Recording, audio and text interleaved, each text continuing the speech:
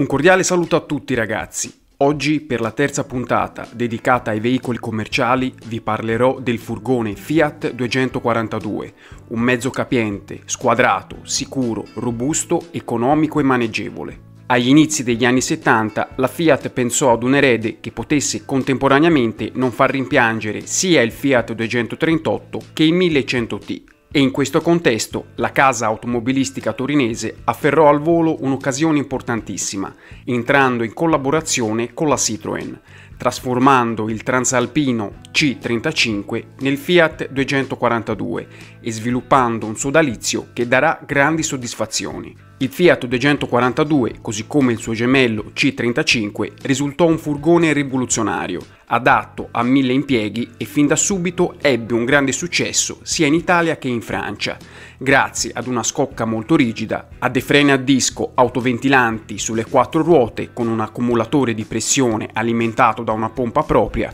a delle sospensioni a ruote indipendenti studiate per lasciare il pianale basso, ad un motore anteriore trasversale sia a benzina che a gasolio di derivazione Citroën CX, ad una meccanica fissata a un sottotelaio estraibile con estrema semplicità in caso di manutenzione, ad un rilevante volume da 9,3 m3, ad un'altezza interna di 182,5 cm su un piano di carico lungo più di 3 metri e largo 179 cm, senza dimenticare le due versioni con portata netta da 15 e 18 quintali. La gamma fu semplice ed essenziale, con la versione furgone che ripropose l'apertura posteriore a tre porte, una soluzione che venne ripresa direttamente dal Type H, con i due semisportelli che raggiunsero l'angolo di 180 gradi, sovrastati dal portello verticale a tettoia. In alternativa furono disponibili le classiche porte ad armadio e su richiesta anche la porta laterale scorrevole con luce di 118 x 165 cm,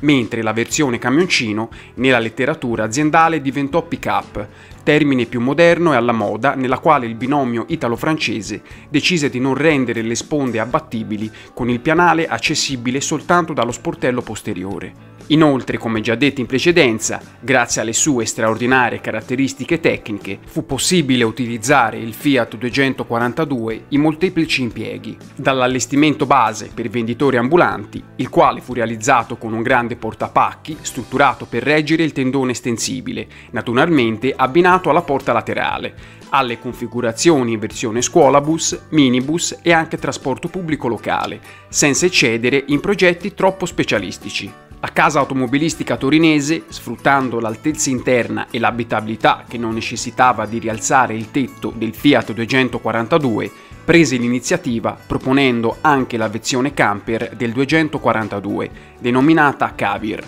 il quale fu apprezzata tantissimo fino a diventare un culto tra gli appassionati. Il progetto originario fu conservato per tutto il ciclo produttivo, sia per il 242 che per il C35, e negli anni furono apportati soltanto dei semplici aggiornamenti meccanici. In conclusione, la commercializzazione del Fiat 242 in Italia durò per 13 anni, dal 1974 al 1987, mentre la continua richiesta in Francia costrinse la Citroën a trasferirne la produzione presso le carrozzerie specializzate Chausson e a prolungare la vita del C35 fino agli inizi degli anni 90, precisamente fino al 1992. Io vi ringrazio per essere arrivati fino a questo punto del video, grazie per la vostra gentile attenzione, ciao a tutti!